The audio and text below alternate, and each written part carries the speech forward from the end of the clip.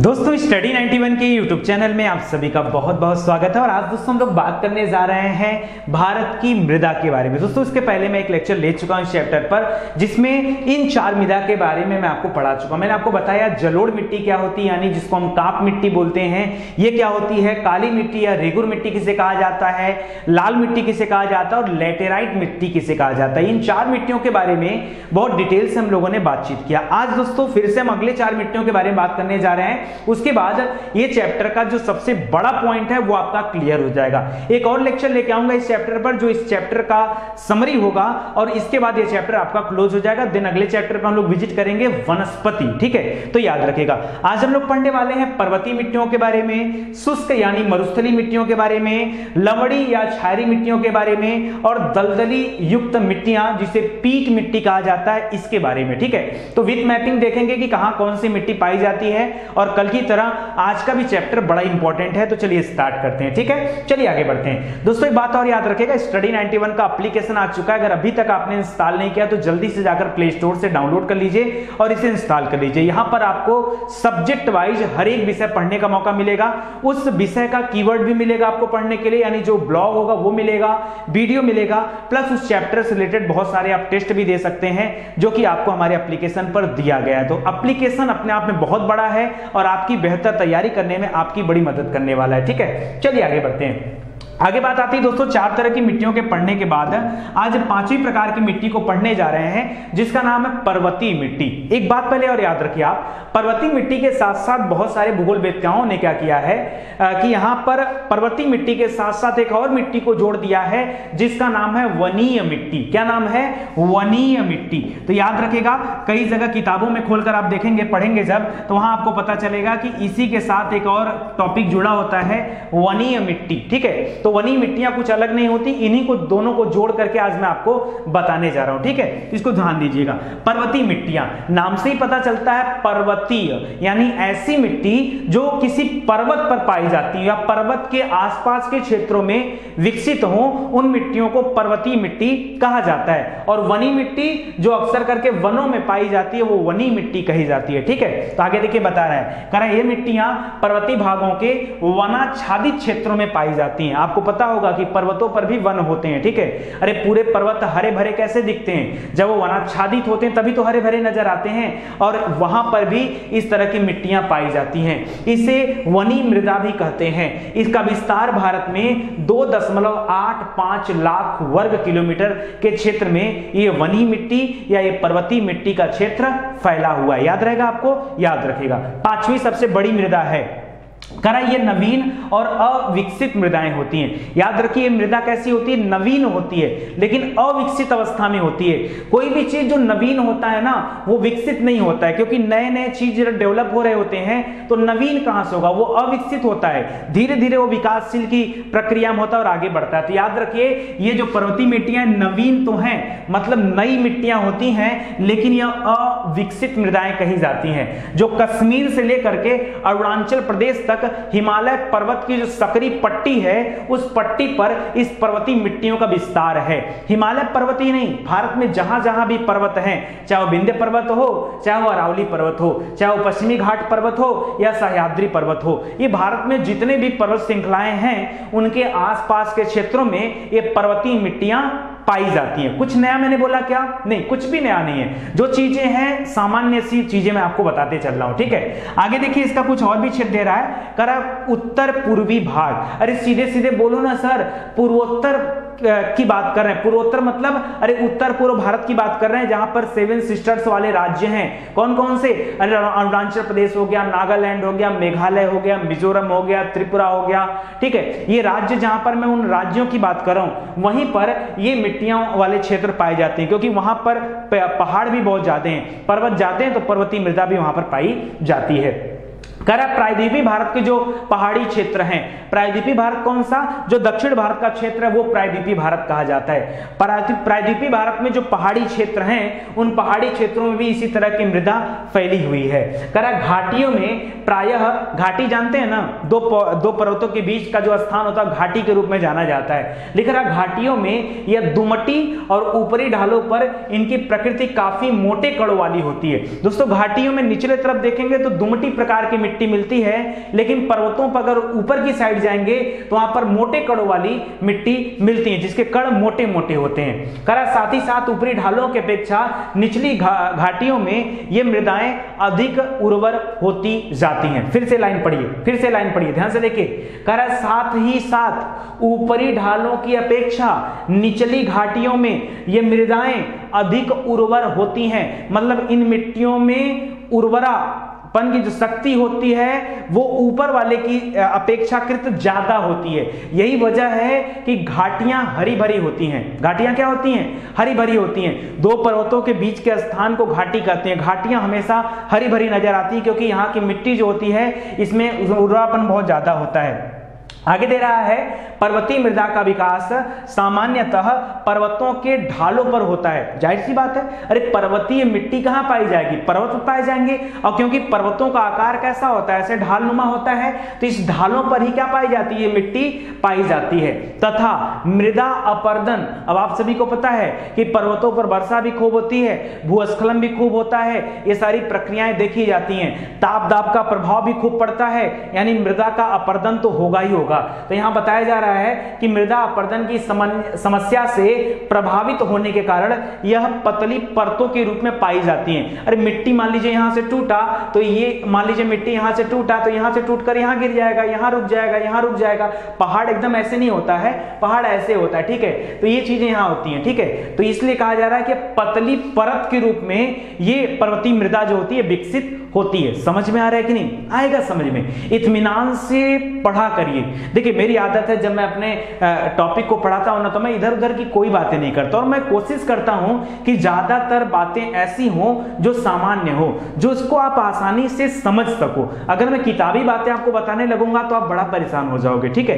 तो यहाँ मैंने कुछ ऐसा कठिन बात नहीं बताया जो आपको याद ना हो पाए। चलिए, आगे बढ़ते हैं। दिख रहा है यहाँ पर कि पर्वतीय मृदा की प्रकृति कैसी होती है? अम्ली होती है। सर सर, एक मिनट रुक जाओ आप। सर, कल आपने पढ़ाया था कि मिट्टी का जो पीएच मान होता है, वो छह से सात होता है, ऐसा आपने बताया था? और सर, आपने एक बात और बताया था कि मिट्टी ना तो ज़्यादा अम्लीय होनी चाहिए, ना तो ज़्यादा क्षारी होना चाहिए। और आपने ये भी कहा था कि मिट्टी में यदि अम्लीयता ज़्यादा होगी या क्षारियता ज़्यादा होगी तो पौधे के विकास में सहायक नहीं होगी। ये पौधों को विकसित ही नहीं होने दोगी। ठीक है? ये मिट्टी हो जाती है। ठीक है ऐसी। एक तरह से बंजर स्वरूप में मिट्टी हो जाती है। तो सर आपने मना किया था, ठीक है? लेकिन यहाँ पर देखिए, मैं बता रहा हूँ आपको कि जो पर्वतीय मिट्टी होती है, इसमें क्या होता है? इसकी प्रकृति खासकर कैसी होती है? अम्ली प्रकृति होती है। कल सर आपने एक बात और बताया था, जो लेटराइट वाली मिट्टी होती है, वो भी कुछ खासियत उसकी अम्ली प्रकृति वाली होती है। उसको भी आप ध्यान दीजिएगा। अच्छा क्यों होती है? एक बात और याद रखेगा क्योंकि पर्वतीय मिट्टियों में जीवाश्म खूब पाए जाते हैं। क्या पाए जाते हैं? जीवाश्म खूब पाए जाते हैं। आप कहोगे, सर याद करना पड़ेगा क्या? दोस्तों दोस्तों, मैंने आपसे बताया था कि एक अपवाद कंडीशन में आप याद कर सकते हैं। जितनी मिट्टी अब तक पढ़ाया, जल मिट्टी में जीवाश्म का अभाव होता है लेटराइट में अभाव होता है, काली मिट्टी में अभाव होता है, लाल मिट्टी में अभाव होता है, मरुस्थली मिट्टी में अभाव होता है, दलदली मिट्टी में अभाव होता है। केवल यही एक मिट्टी है जहाँ पर जीवाश्म की अधिकता पाई जाती है। आप कहोगे, सर, एक बार साबित कर दीजिए ना। एक बार आप प्रैक्टिकली समझा दीजिए ऐसा कि हमें याद हो जाए। दोस्तों, एक बात बताओ। मान लो ऐसे मान लो ये पर्वत दिख रहा आपको ना यहाँ पर मान लो पेड़ पौधे हैं, अब ये ये पेड़ पौधे अगर किसी वजह से टूट जाए, भूस्खलन मान लो यहाँ पे हो गया तो ये पेड़ पौधा टूट कर यहाँ आ गया तो यहीं सड़ गल करके यहीं रुक जाएगा ना, और फिर ये मिट्टी में जाकर के मिल जाएगा तो भाई ये पेड़ पौधे ही गलते रहते हैं यहीं पड़े रहते हैं, ठीक है? तो याद रखिए इसमें जीवाश्मों की अधिकता होती है, जीवाश्मों की अधिकता होती है लेकिन जीवाश्मों की अधिकता होने के बावजूद भी जीवाश्मों का पूर्ण रूप से अपघटन नहीं हो पाता, और अपघटन यदि नहीं हुआ तो वहाँ की मिट्टी की उर्वरा शक्ति बहुत अधिक नहीं हो पाएगी। इसको याद रखेगा लेकिन आप पहाड़ी ढालों पर विकसित होने के कारण यह मृदा बागानी कृषि बागानी कृषि जानते हैं नहीं? जिसको बाग टाइप की जो कृषि होती है, जैसे चाय की खेती होती है, इसको बागानी कृषि बोलते हैं। कहवा की खेती हो गई, ठीक है? या रबर वगैरह की खेती होगी। हालाँकि ये लेटराइट मिट्टी में भी होते हैं बट इसको भी याद रखिए। मसालों में भी की खेती भी, फलों की खेती हो गया आलू उलू की खेती हो गया। इसके लिए ये पर्वतीय ढाल बड़े मायने रखते हैं, ठीक ठीक है तो इसको याद रखेगा, यहाँ पर पर्वतीय मिट्टियाँ पाई जाती हैं। अच्छा अधिकता किस चीज़ की होती है? अभी अभी मैंने बताया कि जीवाश्म की अधिकता होती है यहाँ पर। किसकी? जीवाश्म की अधिकता होती है। कमी किस चीज़ की होती है? पोटास की कमी होती है, चूना की कमी होती है और फास्फोरस की कमी होती है। इनका अभाव होता है। तो आप इसको भी याद रखेगा, ठीक है? चलिए, आगे बढ़ते हैं। अब आगे थोड़ा सा और डिटेल में आपको बताना चाहता हूँ। पर्वतीय मिट्टी को तीन स्वरूप में देखा जाता है। मुख्यतः तीन कैटेगरीज को देखने के लिए मिलते हैं, जो कि आपको सामान्यतः किताबों में नहीं मिलेगा। बट मैं आपको बता रहा हूँ, यहाँ ध्यान से आप मेरी बात को सुनिएगा। ध्यान से सुनिएगा एकदम इतमान से। लेकिन आप पर्वतीय मिट्टियाँ मुख्यतः तीन प्रकार की होती है। ठीक है? पहला दे रहा है। कह कर हिमालय के दक्षिण भाग में, अगर हिमालय के उत्तर में चले जाएँगे, तब तो ट्रांस हिमालय वाला क्षेत्र आ जाएगा। उधर तो बर्फ़ ही बर्फ़ है है कि नहीं? तो आपको आना हिमालय के दक्षिण में, क्योंकि हिमालय के दक्षिण में ही भारत का विस्तार है। इसीलिए मैं हिमालय के दक्षिणी भाग की बात कर रहा हूँ। कह रहा हिमालय के दक्षिण भाग में पथरीली मिट्टी की प्रचुरता है। कैसी मिट्टी वहाँ पर है? पथरीली। पथरीली माने जो पत्थरों के टूट टूट के कारण बनी हुई मिट्टी वो पथरीली मिट्टी है, ठीक है? तो याद रखिए, करा यहाँ पर पथरीली मिट्टी की प्रचुरता है और इन मिट्टियों को नदियों ने बहा कर लाया है। नदी अपने साथ इन मिट्टियों को बहा कर लाती हैं और किसी एक जगह पर एकत्रित करके मिट्टी, ये नदियाँ आगे बढ़ जाती हैं। तो इस मिट्टी में पत्थर ढेर सारे हैं, कंकड़ ढेर सारे होते हैं, याद रखेगा परंतु वनस्पतिक चूहे, चूने और लोहे के अंश जो है वो कम मात्रा में यहाँ पर पाए जाते हैं। पर्वतीय क्षेत्रों में होने के बावजूद भी याद रखिए क्योंकि बह बह कर आए हैं ना तो वनस्पति तो वहीं रह गया, पर्वतीय मिट्टी पर ही रह गया। तो यहाँ पर जो नीचे की तरफ़ आए वहाँ पर कंकड़ पत्थर की मात्रा ज़्यादा है, लेकिन जीवाश्म का अभाव होता है। पर्वतीय मिट्टी का ही अंग ये माना जाता है, लेकिन उसके बाद भी यहाँ जीवाश्मों का अभाव है। चूने का भी अभाव होता है और लोहे का भी अभाव होता है। लिख रहा, अतः यह मिट्टी कम उपजाऊ होती है। और पथरीली मिट्टी कितनी उपजाऊ होगी? आप समझो ना। अगर मैं आपको पथरीली मिट्टी दे दूँ, क्या आप उसमें कोई पौधा रोपण कर सकते हैं? होगा ही नहीं। होगा ही नहीं। क्यों? क्योंकि मिट्टी क्या होती है? कम उपजाऊ होती है। प्राय इस मिट्टी के कड़ कैसे होते हैं? मोटे होते हैं। ये बताने वाली बात नहीं है, सर। आपने पहले ही बता दिया है कि ये मिट्टी पथरीली मिट्टी है। ये छोटे छोटे कंकड़ पत्थर के टूटने की वजह से बनी है। वो तो नदियों ने लाकर एकत्रित कर दिया ना। तो ये मिट्टी के कड़ कैसे होंगे? मोटे मोटे होते हैं। परंतु दून और कांगड़ा की घाटियों में, दून मतलब देहरादून की बात कर रहा हूँ। दून मतलब देहरादून। कांगड़ा मतलब अरे कुल्लू घाटी, कांगड़ा घाटी का नाम सुना है ना? ठीक है? तो कह रहा है कांगड़ा की घाटियों में, या फिर असम में, या फिर पश्चिम बंगाल के दार्जिलिंग वाले क्षेत्र में, दार्जिलिंग टी बड़ा फ़ेमस है। दार्जिलिंग की चाय बड़ी फ़ेमस है। वहाँ पर दार्जिलिंग में जो है चाय की खेती बहुत ज़्यादा होती है। ठीक है? तो याद रखिएगा। करा इन क्षेत्रों में बारीक, कड़ों वाली, चिकनी मिट्टियाँ पाई जाती हैं। कहाँ पर? उस पर्वतीय ढालों पर पाई जाती हैं। और यहाँ पर चाय, आलू की खेती भी खूब की जाती है। तो ये पर्वतीय मिट्टी का पहला प्रकार है। इसको जरा ध्यान दीजिएगा। अब देखिए, इसका एक दूसरा रूप हम लोग देखते हैं। करा कि मसूरी चले जाइए, नैनीताल चले आइए, ठीक है, चक्राता चले आइए, इन क्षेत्रों में आपको ऐसी मिट्टी मिलेगी जहाँ पे चूना की मात्रा, चूना, डोलोमाइट, इन सब की मात्रा अधिक पाई जाती है। अभी हमने पीछे वाली मिट्टी में पढ़ा, वो भी पर्वतीय मिट्टी ही था। मैंने उसमें पढ़ाया आपको कि वहाँ पर चूने का अभाव होता है, वहाँ पर लोहे के अंश की कमी पाई जाती है, और यहाँ पर क्या दे रहा है? है चूना, डोलोमाइट अधिक मात्रा में पाए जाते हैं। ये भी आपके पर्वतीय मिट्टी का ही भाग है। ठीक है? तो आप समझो कि कितना ज़्यादा विविधता यहाँ पर देखने को मिल रही एक ही मिट्टी के अनेक अनेक रूप मिल रहे हैं। अरे, आप कहोगे, सर, कैसे? एक बात बताओ, क्या चोर जो होता है, जो कोई चोरी करता है, क्या चोर व्यक्ति नहीं होता? होता है। क्या डाकू व्यक्ति नहीं होता? होता है। क्या देश प्रेमी व्यक्ति नहीं होता? वो भी व्यक्ति है। क्या देशद्रोही व्यक्ति नहीं होता? वो भी होता है। क्या हत्यारा व्यक्ति व्यक्ति व्यक्ति नहीं होता? वो भी होता है। टीचर हो गया, जज हो गया, पुलिस हो गया, आर्मी हो गई, सब व्यक्ति होते थे व्यक्तियों के अलग अलग रूप देखने को मिल रहे हैं। उसी तरह तरह से यहाँ पर पर्वतीय मिट्टियों के अलग अलग रूप हैं। तो घबराने वाली बात नहीं है। सबके अपने अपने क्या है? चरित्र हैं। उनके बारे में, सबके अपने अपने स्वरूप हैं। उसके बारे में आप समझो। तो यहाँ पे बता रहे कारण मसूरी, नैनीताल, चक्राता आदि क्षेत्रों में चूना और डोलोमाइट की अधिकता वाली मिट्टियों का विस्तार मिलता है। इस मिट्टी में चूना युक्त मिट्टी खूब पाई जाती है इन क्षेत्रों में। कर वर्षा के कारण अच्छा जब खूब बारिश होती है तो क्या होगा? वहाँ से जो चूना होता है, वो बह जाता है। तो मिट्टी में क्या होता है? धीरे धीरे चूना की कमी हो जाती है और वह भूमि कैसा हो जाता है? उर्वरकता वहाँ की क्या हो जाती है? समाप्त हो जाती है तो वह अनुत्पादक भूमि हो जाती है या फिर बीहड़ युक्त भूमि हो जाती है। ऐसी भूमि में केवल चीड़, साल जैसे पेड़ ही उगते हैं। तो आपने देखा होगा कि ऐसे पर्वतीय ढालों पर चीड़ और साल जैसे वृक्षों की अधिकता देखने को मिलती है। घाटियों में भी जहाँ कहाँ, जहाँ तहां इस तरह की जमी हुई मिट्टी मिल जाती है। हालाँकि यहाँ पर थोड़ी बहुत चावल वगैरह की खेती की जाती है तो इसको जरा ध्यान रखेगा एक तीसरा टाइप है, उसको भी देख लीजिए। गरा हिमालय के कई भागों में हिमालय के कई भागों में ज्वालामुखी उद्गार से ग्रेनाइट तथा डायोराइट आदि आग्नेय चट्टानों का निर्माण हुआ। एक्चुअली में ये दरारी उद्भेदन से हुआ, ठीक है? तो इसको भी याद रखेगा यानी अंदर का जो मैग्मा बाहर निकल करके ठंडा हुआ, उसकी वजह से यहाँ पर कई तरह के आग्नेय चट्टानों का निर्माण हुआ। मैंने बताया था आपको, आग्नेय सेल औषाधी सेल, रूपांतरित सेल, सभी के बारे में बताया हूँ। आप जाकर के वर्ल्ड ज्योग्राफी का वीडियो देखिए। ये इंडियन ज्योग्राफी की सीरीज़ चल रही है। इसके अलावा वर्ल्ड ज्योग्राफी आपको अलग से पढ़ने के लिए मिलेगा, वहाँ जाके देखेंगे, वहाँ काफ़ी डिटेल में मैंने आपको बताया है कि आग्नेय सेल वह सेल होती हैं जो पृथ्वी की उत्पत्ति के ठीक बाद पैदा हुई थी, ठीक है? आग्नेय सेल कहलाती हैं। वो पृथ्वी के मैग्मा के ठंडा होने के फलस्वरूप इनका विकास हुआ है, आग्नेय सेल कहलाती हैं, ठीक है? तो याद रखेगा उसके थ्रू इन मिट्टियों का निर्माण होता है। इससे वहाँ पर आग्नेय मिट्टियाँ बन गई हैं। इन मिट्टियों में नमी धारण करने की कुछ शक्तियाँ पाई जाती हैं। इसी वजह से इन मिट्टियों पर खेती के कार्य भी किए जाते हैं। और केरल वगैरह में जो मसालों की खेती होती है वो इसी वजह से होती है। तो इसको भी जरा आप ध्यान दीजिएगा।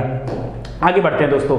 अगला दे रहा है शुष्क या मरुस्थलीय मिट्टी। मरुस्थली माने कहा जाता है? ऐसी मिट्टी जो मरुस्थल वाले क्षेत्रों में पाई जाती है। मरुस्थल का विस्तार पूरे भारत में नहीं है हाँ लेकिन कहाँ पर है? मरुस्थल आपको थार का मरुस्थल देखने के लिए मिल जाएगा राजस्थान में। क्योंकि वहाँ की जो हवाएँ भी होती है वो शुष्क होती हैं और यही एक वजह है कि नमी नहीं होती है नमी नहीं है तो वहाँ पर कुछ पन, पनप नहीं सकता। उसका वजह भी है क्योंकि वह क्षेत्र एक ऐसा क्षेत्र है मरुस्थली क्षेत्र है। ठीक है? करा ये मिट्टियाँ 50 सेंटीमीटर से कम वार्षिक वर्षा जहाँ पर होता है, ऐसे क्षेत्रों में ये पाई जाती हैं। और आपको पता होगा, आपने काफ़ी बार सुना होगा कि भारत में मरुस्थलीकरण बढ़ रहा है। इसका मतलब क्या है? यानी मरुस्थल जो है, उसका क्षेत्रफल बढ़ रहा है। घट नहीं रहा, बढ़ रहा है, ठीक है? और ये काफ़ी मायने रखती है, क्योंकि अगर वार्षिक वर्षा का जो वितरण है, अगर भारत में वो प्रभावित होता है तो धीरे धीरे भूमि को बंजर बनने से कोई नहीं रोक सकता, और ये बंजर भूमि धीरे धीरे करके क्या हो जाती है? इतनी अनुपजाऊ हो जाती है कि ये फिर मरुस्थलीय भूमि में कन्वर्ट हो जाती है। तो उसको भी आप ध्यान दीजिएगा। ये मिट्टियाँ पचास सेंटीमीटर से कम वार्षिक वर्षा वाले इलाकों में मिलती हैं। और भारत के एक दशमलव चार दो लाख वर्ग किलोमीटर के क्षेत्र में ये मिट्टियाँ फैली हुई हैं। इन क्षेत्रों में नगण्य वर्षा होती है। आप देखो ना, आप चले जाओ पश्चिमी राजस्थान वाले क्षेत्र में, जैसलमेर वगैरह वाले क्षेत्र में, आपको वहाँ पता चलेगा, वहाँ 10 सेंटीमीटर से भी कम वर्षा होती है। वहाँ 10 सेंटीमीटर से भी कम वर्षा होती है, यानी नगण्य वर्षा वहाँ प्राप्त होती है। और अत्यधिक वाष्पीकरण होता है। अगर थोड़ा बहुत जो वहाँ पर पानी है भी ना, उसमें वाष्पीकरण ज़्यादा होता है। क्यों? क्योंकि भाई, रेत है, और रेत उष्मा का क्या है? सुचालक होता है तो ये जल्दी गर्म हो जाता है। तो उष्मा के वजह से अगर ये जल्दी गर्म होगा तो उसके पास की जो हवाएँ, वो भी गर्म हो जाएँगी। ये हवाएँ जितनी गर्म होंगी, उतनी ज़्यादा शुष्क होंगी। समझ में आ रहा है? तो याद रखिए। और जब हवाएँ शुष्क होंगी तो कहीं भी अगर पानी होगा थोड़ा बहुत तो वो उसका वाष्पीकरण ज़्यादा होगा। लेकिन अब वाष्पीकरण के कारण मृदा में कम नमी तथा कार्बनिक तत्वों की अल्पता होती है, जिसकी वजह से यहाँ पर मरुस्थली मिट्टियों में ह्यूमस का अभाव होता है। और अभाव होगा ही होगा, क्योंकि यहाँ पर सड़े गले फल, फ्रूट या फिर वनस्पतियाँ या फिर जीव जंतु के अवशेष यहाँ पर नहीं मिले होते हैं, ठीक है? इस वजह से यहाँ पर क्या है? ह्यूमस का अभाव होता है। कह रहा है कि अतः इसे कृषि के दृष्टिकोण से अन्न अनुर्वर मृदा के अंतर्गत रखा जाता है। अगर आपको दे दिया जाए मरुस्थल वाले क्षेत्र में कि लो भैया, ये दो बीघा का खेत आपका है, आप यहाँ खेती करो, क्या आप कर पाओगे खेती? नहीं कर पाओगे। क्यों? क्योंकि वहाँ की मिट्टी में उर्वरकता ही नहीं है। तो आप खेती कैसे करोगे? याद रखेगा। करा ये मिट्टियाँ बलुई से बजरी युक्त होती हैं। बलुई मिट्टी से लेकर के बजरी बजरी यानी छोटे छोटे कंकड़ पत्थर युक्त मिट्टियाँ होती हैं, जिसमें जैविक पदार्थ और नाइट्रोजन की कमी होती है। कैल्शियम कार्बोनेट की भी भिन्न भिन्न मात्राएँ पाई जाती हैं। तो इसकी वजह से मिट्टियाँ हमारे काम की यूज़ के नहीं होती हैं। करा लवण और फास्फोरस की प्रचुरता यहाँ पर होती है, लेकिन जीवाश्म और नाइट्रोजन का अभाव भी यहाँ पर पाया जाता है। इसको याद रखेगा चलिए, ये देखिए कुछ इमेज आपको दिख रहा है, ठीक है? इस तरह का इमेज देख लीजिए, शायद आपको जाने के बाद भी नज़र आए, ठीक है? तो ये मरुस्थल क्षेत्र है, जहाँ पर छोटे छोटे वृक्ष आपको दिख रहे हैं। ये जो ग्रीन ग्रीन दिख रहे हैं ना, ये छोटे छोटे वृक्ष है। तो जहाँ तहां उगे हुए हैं, लेकिन ये पूरा का पूरा मरुस्थल आपको नज़र आ रहा है। देखिए, इसके बारे में दो लाइन लिखा हुआ है यहाँ पर। क्या बताया जा रहा है? सुनिए। कह रहा पश्चिमी राजस्थान, जितना ज़्यादा आप पश्चिम में जा सकते हैं। पाकिस्तान वाले सर्किट लाइन जहाँ पर है, वहाँ पर चले जाइए। लिख रहा है, पश्चिमी राजस्थान या दक्षिणी पंजाब में या फिर पश्चिमी हरियाणा और उत्तरी गुजरात के ये सब मरुस्थल वाले बेल्ट हैं। चारों तरफ़ से जो दिशा वो बता रहा है आपको? यहाँ पर ये शुष्क प्रदेशों में इस तरह की मिट्टी पाई जाती है। इस मिट्टी में सामान्यतः कम जल की आवश्यकता वाली फ़सलों को उजाया जा सकता है। यानी ऐसे फ़सल जिनको जल की आवश्यकता कम होती है, वो यहाँ पर उग सकते हैं। जैसे मोटे अनाज हो गया, बाजरा हो गया, ज्वार हो गया, रागी हो गया, तिलहन हो गया, इन सब की खेती यहाँ पर बड़े पैमाने पे की जाती है इसको भी आप याद रखेगा चलिए, अगला है सातवां। सातवां है लमड़ीय या क्षारीय मृदा। लमड़ी या क्षारीय मृदा। सुनिएगा। देख रहा बिहार में, उत्तर प्रदेश में, हरियाणा में, पंजाब में, राजस्थान में और महाराष्ट्र के अपेक्षा शुष्क भागों में लवण तथा क्षारी मिट्टियाँ पाई जाती हैं। ठीक है? दोस्तों, लवण और क्षारी मिट्टियों का मतलब क्या है? पहले बात को आप समझिए। अलग अलग जगहों पर पहले तो इन्हें अलग अलग नाम दिया जाता है।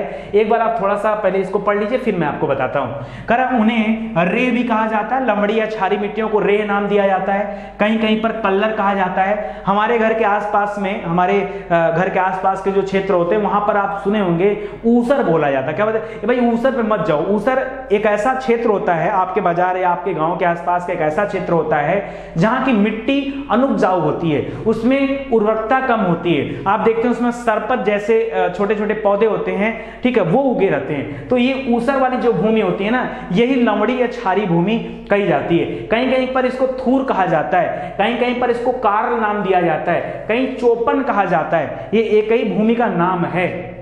कर आदि कई नामों से इन्हें पुकारा जाता है। नहरों द्वारा सिंचित तथा उच्च भूमिगत जल स्तर वाले इलाकों में यह केसिका कोशिका नहीं रहेगा या केसिका रहेगा। किस क्रिया से? केसिका लिखिएगा। केसिका क्रिया आपने पढ़ा होगा ना? केसिकत्व के बारे में पढ़ा होगा। ठीक है, फिजिक्स में नहीं पढ़े तो जाके देख लीजिए। करा केसिका क्रिया के द्वारा भूमिगत लवण धरातल पर आ जाते हैं और ये मिट्टी को क्या बना देते हैं? अनुपजाऊ बना देते हैं। आपको पता है कि भूमि के अंदर लवणी पदार्थ होते हैं और केसिकत्व की क्रिया में क्या होता है? आप देखते होंगे, अरे केसिकत्व की वजह से लालटेन या डिबरी में क्या होता है? तेल उस कपड़े के माध्यम से ऊपर चढ़ता है जिससे ये ज्वाला जल पाती है, ठीक है? ये केसिकत्व होता है। उसी के कारण जो होता है, भूमिगत जो लवण है, वो धरातल पर आ जाते हैं और मिट्टी को लमड़ी बना देते हैं या छारी बना देते हैं। लमड़ी मृदा की कृषि के दृष्टिकोण से अनुर्वर मृदा के अंतर्गत रखा जाता है। साथ ही साथ इसमें वनस्पतियों का भी अभाव पाया जाता है। आपने उसर में देखा होगा कि कितना हरा भरा उसर होता है। पता है ना आपको? हाँ? तो इसमें बताने की ज़रूरत नहीं है। लमड़ी मृदा का अधिकतर प्रसार पश्चिमी गुजरात में, पूर्वी तट के जो डेल्टाई क्षेत्र हैं या फिर सुंदरवन के जो डेल्टा क्षेत्र हैं, वहाँ पर लवणी मृदा पाई जाती है। भाई, ऐसे जगह पर भी लवणी मृदा पाई जाती है जहाँ पर समुद्र का जल क्योंकि समुद्र का जल खारा होता है, उसमें लवण होता है तो वहाँ पर भी वो जिस मिट्टी के ऊपर हमेशा समुद्र का जल है पड़ा हुआ, वो मिट्टी कैसी हो जाएगी? लवड़ी मिट्टी हो जाएगी? तो सुंदरवन का डेल्टा जहाँ पर है, आपको पता होगा, वहाँ पर सुंदरी के वृक्ष पाए जाते हैं। वहाँ पर जो डेल्टाई क्षेत्र हैं, वो हमेशा समुद्र के जल में डूबे रहते हैं। तो इसलिए वहाँ पर लवड़ी क्षेत्रों का विकास हुआ है। इसको भी आप देख लीजिएगा। इसके अलावा कच्छ का रन वगैरह है, वहाँ पर भी लवड़ी क्षेत्र पाए जाते हैं। इसके अलावा ठीक है? कच्छ के रन वगैरह में, जिसके लिए दक्षिणी पश्चिमी मानसून सबसे प्रमुख रूप से उत्तरदायी माना जाता है। चलिए, आगे बढ़ते हैं दोस्तों।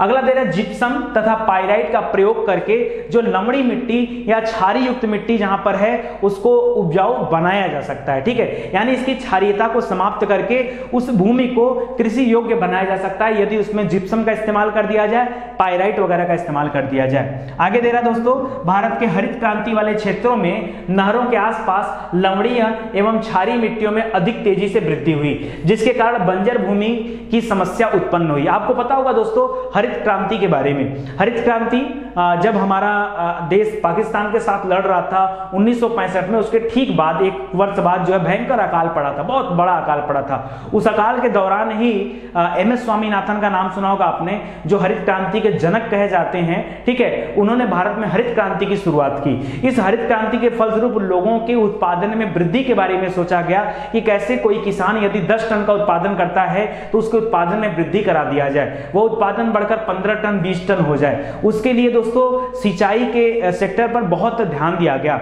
और फिर उस समय भारत सरकार ने बहुत बड़ा फोकस प्लान किया और पूरे भारत में नहरों को बिछाने का कार्य जारी किया कि कैसे नदियों से छोटे छोटे नहरों को निकाल करके गाँव गाँव तक पहुँचाया जाए, ताकि लोग अपने खेतों को सिंचित करें। तो हुआ क्या दोस्तों, जब नहर बना दिया गया तो नहरों में पानी छोड़ा जाता है। वो पानी जो होता है, वो कुछ अंदर से भी आते रहते हैं पानी। भूमिगत जो जल होता है, वो भी ऊपर की तरफ़ आता रहता है और कुछ पानी बाहर से नदियों के माध्यम से आता रहता है। तो उसके आसपास के जो क्षेत्र हुए ना, वो धीरे धीरे अनुपजाऊ होने लगे क्योंकि केसिकत्व की वजह से वहाँ पर लवड़ी मृदा का विकास होने लगा और एक बड़ी समस्या हमारे सामने आ गई। हालाँकि इससे निपटा गया बाद में धीरे धीरे इस प्रकार की मृदाओं में बरसीम की खेती की जाती है। बरसीम जो बोया जाता है दोस्तों, ये खास करके पशुओं के चारा देने के काम आता है। ठीक है, बरसीम होता है। धान हो गया, गन्ना हो गया, अमरूद, आंवला हो गया, फालसा हो गया, जामुन हो गया, ये इन फ़सलों का विकास किया गया। मतलब ये सारे पेड़ पौधे वहाँ पर लगाए गए। ये लवण प्रतिरोधी फ़सलें और वृक्ष माने जाते हैं, इसलिए इनको विकास किया गया।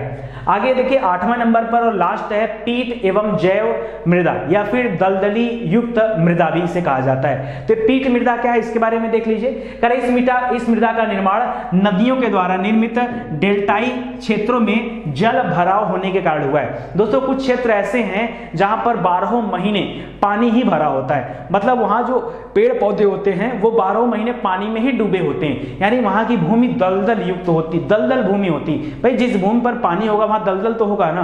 तो याद रखिए, ये जल भराव होने के कारण इसको पीट मृदा या दलदल युक्त मिट्टी का नाम दिया गया। ये मिट्टी भी अम्लीय स्वभाव की होती है। ध्यान दीजिएगा कौन सा स्वभाव है? जैसे पर्वतीय मिट्टी में अम्लिता पाई जाती है, ठीक है, उसी प्रकार से दलदली मिट्टी में भी अम्लिता पाई जाती है। तथा फेरस ऑक्साइड या फेरस आयरन के होने की वजह से इनका रंग भी हल्का नीला रंग प्रतीत होता है। करा भारत में पीठ मृदा वाले क्षेत्रों में ही मैग्रो वनस्पतियों का विकास हुआ है। मैग्रो वन का नाम सुना है ना? तो मैग्रो वनस्पतियों का विकास भी यहीं पर हुआ है। करा यह भारत में मुख्यतः केरल के अलपपूझा जिला उत्तराखंड के अल्मोड़ा में और सुंदरबन के जो डेल्टाई क्षेत्र हैं वहाँ पर यह दलदली युक्त मिट्टियाँ पाई जाती हैं। यह हल्की उर्वरकता वाली फ़सलों के लिए उपयुक्त मानी जाती है मिट्टी जिसमें कम उर्वरकता वाली आ, आ, मिट्टी अच्छे से जो है यूज़ हो पाती है जहाँ पर अच्छा कुछ ऐसे पौधे होते हैं जो कम उर्वरकता वाले क्षेत्रों में उग सकते हैं, बड़े आसानी से, ठीक है सस्टेन कर सकते हैं। तो वो यहाँ पर बोई जाती हैं। उपयुक्त दशा में वनस्पति की, दो बार हो गया, उपयुक्त दशा में वनस्पति की समृद्धि के कारण इसमें जीवाश्म में अंश एवं ह्यूमस अधिक मात्रा में पाए जाते हैं। क्योंकि मिट्टी दलदली है तो कोई भी चीज़ यहाँ से बाहर जा नहीं सकता वो पेड़ पौधे जब कटेंगे, गिरेंगे तो वहीं गिरेंगे और फिर वहाँ जीवाश्म ठीक है, अधिक मात्रा में पाए जाएँगे। इसी तरह से हमने पढ़ा कि पर्वतीय मृदा में भी जीवाश्म खूब पाए जाते हैं। जिस कारण यह मृदा मृदा जो है, नीले से हल्के काले रंग में जो है कन्वर्ट हो जाती है। करा पीट मिट्टियाँ पीटी नहीं पीट मिट्टियाँ अधिक आर्द्रता वाले क्षेत्रों में अधिक जैव पदार्थ के जमा होने से बनती हैं। अभी अभी बताया अभी अभी बताया मैंने कि जल भराव वाले क्षेत्रों में मिट्टियाँ प्रसिद्ध होती हैं। ठीक है? करा इनमें घुलनशील तत्व अधिक होते हैं और जैव पदार्थ भी 10 से 15 प्रतिशत तक पाए जाते हैं। वर्षा ऋतु में अधिकांश पीटी मिट्टियाँ जल में डूबी रहती हैं, परंतु वर्षा ऋतु समाप्त होते ही इन मिट्टियों में चावल की खेती भी पर्याप्त मात्रा में की जाती है। तो इसको जरा आप ध्यान रखेगा अगर आप इतनी बातें याद रखते हैं तो मुझे नहीं लगता कि आपको भारत की मिट्टियों के इस चैप्टर में आपको कोई कंफ्यूजन होगा। दोस्तों, मैं आपसे बार बार कहता हूँ कि आप आइए, हमारे एप्लीकेशन से जुड़िए, हमारी वेबसाइट से जुड़िए और यूट्यूब चैनल से भी जुड़िए। देखिए यूट्यूब में एक दिक्कत हमको ये होती है कि वहाँ पर हम कैटेगराइज करके चीज़ों को नहीं दे पाते हैं। कितने फोल्डर हैं, कितने प्लेलिस्ट हैं, उनको जाकर के आप ढूंढ नहीं पाते हैं। तो अच्छा नेविगेशन कैसे दिया जाए, इसी के लिए इस एप्लीकेशन को डेवलप किया गया है। इसके माध्यम से आप और भी बेहतर तैयारी कर पाएँगे, ठीक है? तो जल्दी से आप गूगल प्ले स्टोर से इंस्टॉल कर लीजिए। स्टडी 91 का ऐप जो आपको बड़ा हेल्प मिलेगा। नीचे डिस्क्रिप्शन में भी लिंक मैं दे दे रहा हूँ, वहाँ से जाकर भी आप डाउनलोड कर सकते हैं। तो आज के लिए इतना ही। एक लेक्चर इस पर और मैं दूँगा तो आपका यह चैप्टर पूरी तरह से क्या हो जाएगा? समाप्त हो जाएगा, ठीक है? चलिए आप सभी का धन्यवाद। उम्मीद करता हूँ आप वीडियो को शेयर ज़रूर से करेंगे। ठीक है, जैसा अभी तक करते हैं और अपना लाड प्यारा बनाए रखेगा जय हिंद, जय भारत, हँसते रहें, मुस्कुराते रहें।